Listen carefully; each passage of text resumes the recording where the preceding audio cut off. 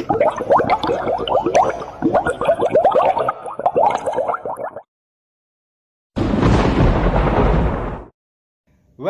to the East West College, uh, mga kabayan, mga kung saan lupalop man kayo dito sa Canada, lalo na mga Pilipino, inter mga international man, ay pwede po kayong uh, magsabi sa akin o mag-direct sa akin at pwede rin po kayong mag-direct dito sa akin uh, ipopost din ito kaya uh, sa ating uh, uh, director ng uh, buong uh, East West College, si Ma'am Evelyn uh, Repebrual. Pwede rin po kayo makipag-sadya uh, sa kanya para po sa international at saka sa local na uh, pag-aaral dito sa East West College. Yan po.